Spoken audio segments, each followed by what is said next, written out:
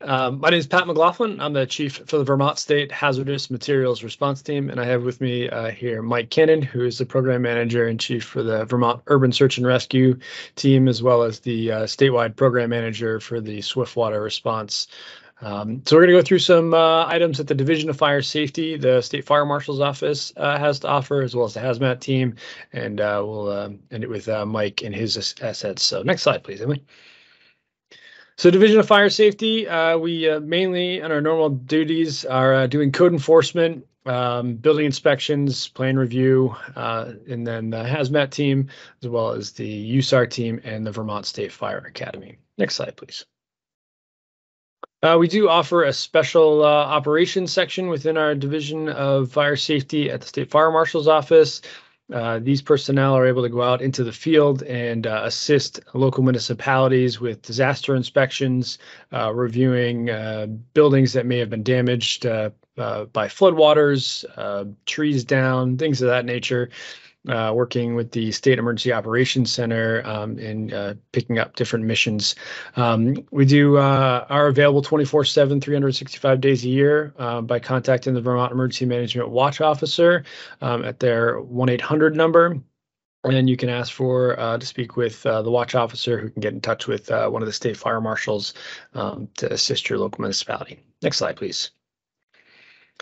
Uh, we also run in larger scale um, when we have several inspectors out doing uh, different inspections um, and uh, other um, duties.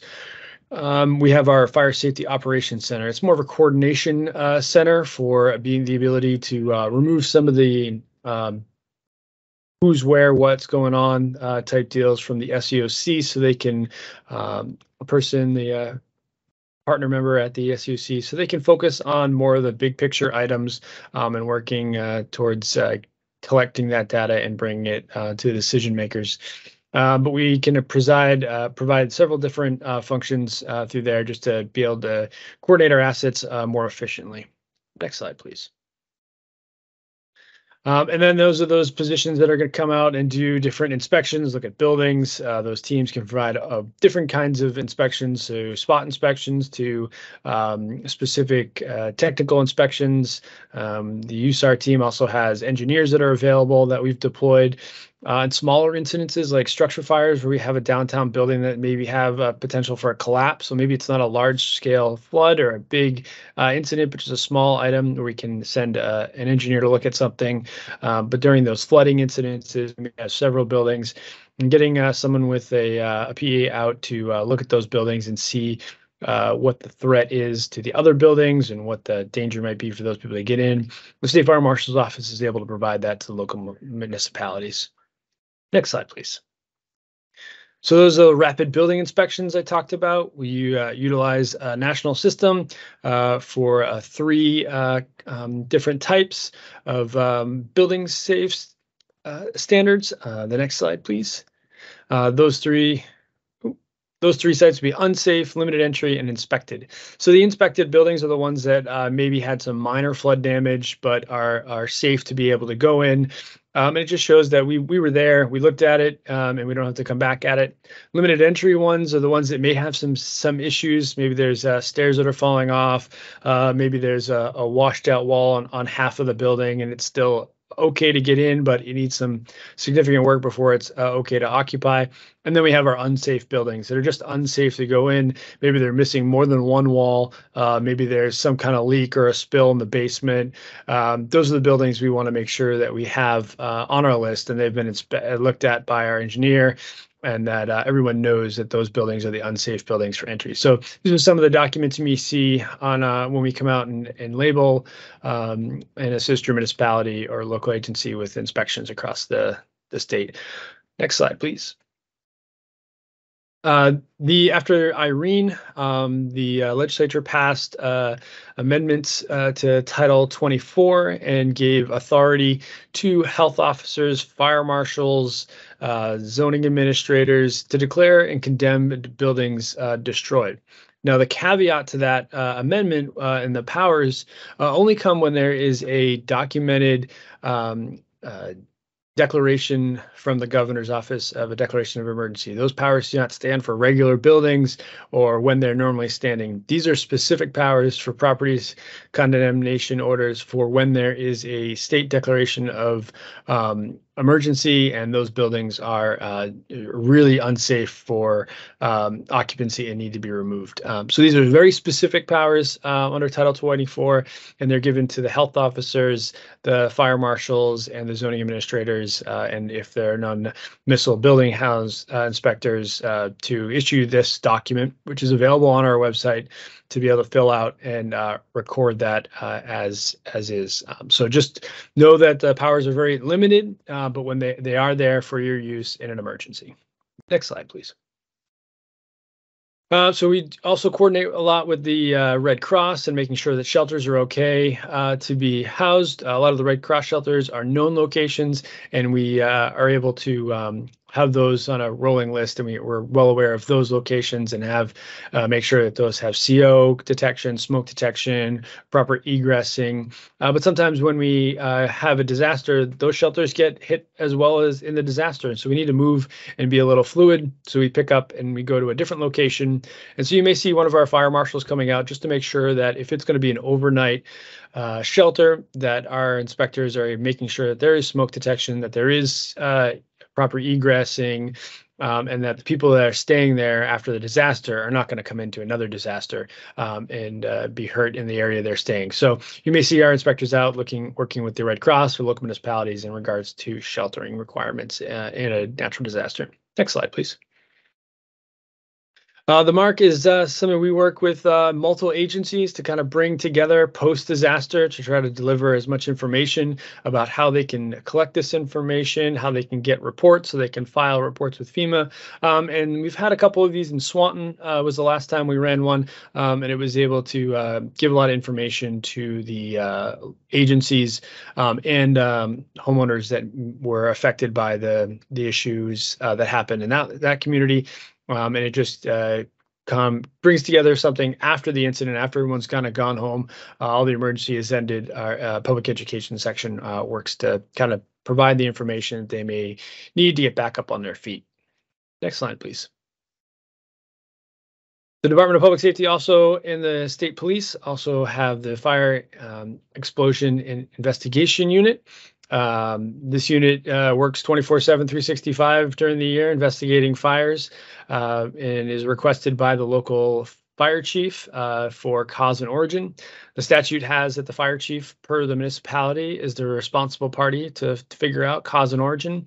And this team provides that technical assistance, education in the skill set and equipment to come and assist the local fire departments in figuring out uh, uh, cause and origin on a lot of those uh, significant fires, uh, line of duty death fires, um, occupancy deaths, injuries, um, maybe uh, multiple maybe multiple building fires, those really large fires, and sometimes just trying to figure out why a, a smaller fire started. So that this team is available 24/7 to local fire departments um, year round, um, even when there's a flooding incident. Next slide, please.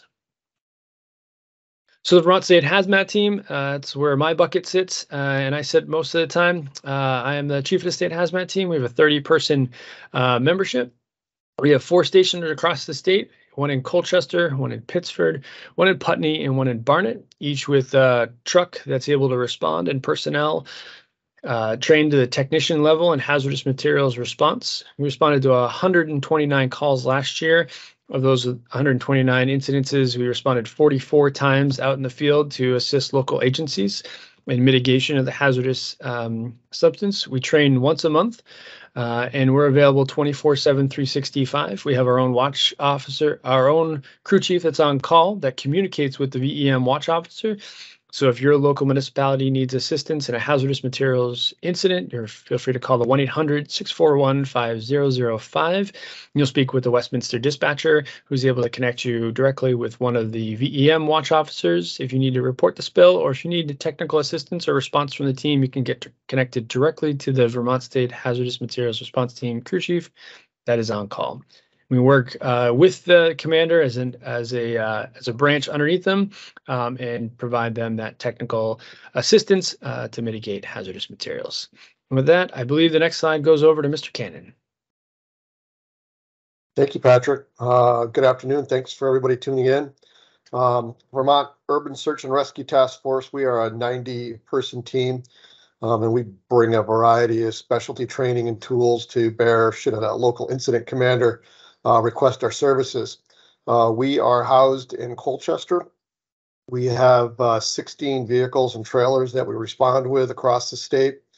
A few things that we can offer during a flood uh, flood event or an ice jam would be um, our technical search capability that include the ability to access people that may be trapped due to floodwaters, we offer uh, unmanned aerial vehicles or drones that can be used to hastily and safely search for people that are trapped or um, access um, areas where, where we might not be able to access by boat or a vehicle.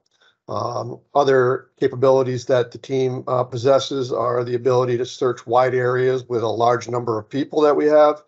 Uh, we are able to bring uh, search canines, specialty equipment such as search cameras, um, a variety of boats and UTVs to assist the local municipality. Uh, as Patrick mentioned, we do have uh, three structural engineers on our team um, that are available to assist in building assessment, whether it be a large scale event or even um, one or two buildings that might have been impacted. Next slide. Our task force has a rather robust swiftwater uh, flood capability. These um, assets can be pre-deployed to an area of high risk prior to the event unfolding. Um, our team has swiftwater boats embedded within our own group um, that can be divided up into a number of smaller teams uh, that can fan out across multiple uh, municipalities that may be affected by floodwaters. Um, the task force also coordinates um, about 10 other partner agencies um, that have varying levels of water rescue capability and those resources can also be pre-deployed or pre-staged in high-risk areas. Um, it's through these partnerships and memorandums of understanding that we have access to about 25 um, swiftwater flood uh, boat teams that can be activated through Vermont Emergency Management through their watch officer. Um, and these, again, can all be pre-staged and pre-deployed prior to a flood event. And that ends my two slides.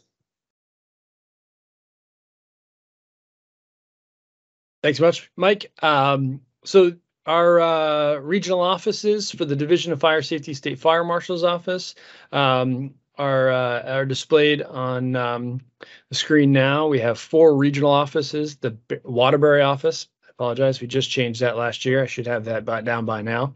Is the green section. Uh, the blue section is our Rutland office. Uh, the grayish or brownish color is the Williston office, and the purple section is our Springfield office. Each one of those has a jurisdictional area where there's fire marshals, plumbing inspectors, electrical inspectors, as well as our plan reviewers um, in those offices. Um, and then, as Cannon had stated, he's got uh, um, and myself uh, share an office up at the uh, Colchester station uh, for emergency response, as well as the uh, Fire Academy in Pittsford, uh, where my truck two is staged. And then we have an agreement with two local fire departments in Barnet and uh, Putney to house my other two trucks. Um, this information is also available on our website, which is firesafety.vermont.gov. Um, and we have an interactive map there so you can see which fire marshal is uh, attached to which town as well and their contact information if you had any specific questions regarding any specific towns. Next slide, please. And with that, that uh, concludes our presentation. Um, if you have any questions, feel free to reach out to us. If there's something you think of afterwards, both Mike and myself have state email addresses. Mine is patrick.mclaughlin at vermont.gov and Cannon's is michael.cannon at vermont.gov. Thanks very much, and we'll turn it back to Emily. Thank you so much. There was a question that was both asked and answered in the chat, so I'll verbalize it just for the good of the order. The question was Is the Vermont Hazmat Team volunteers or are they full time staff? And the answer is it is part time temporary state employees for both the Hazmat Team and the USAR team, and uh, McLaughlin and Cannon are the only two full time members.